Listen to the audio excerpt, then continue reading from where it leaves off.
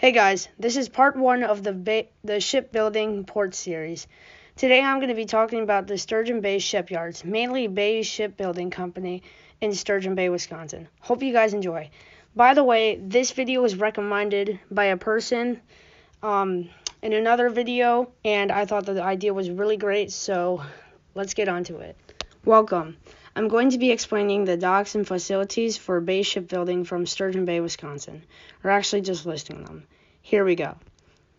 The facilities for Bay Shipbuilding include a 63 acre facility, a 1,154 by 140 foot graving dock, a 654 by 117 combined floating dry dock, and the 216 foot and 432 foot sections of the dry dock can operate individually.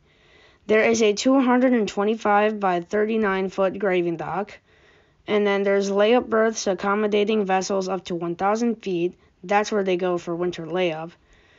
There are numerous crawler and gantry cr- cranes with a lift capacity of up to 200 tons.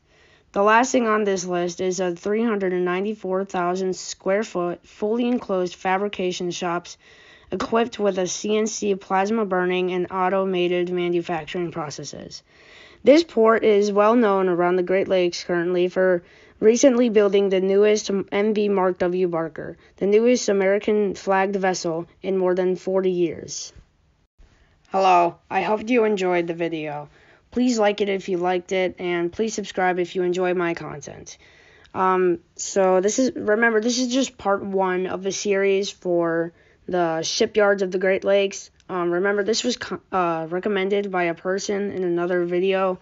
If you're watching this, uh, thank you. I love this idea, and now it's a reality. So thank you.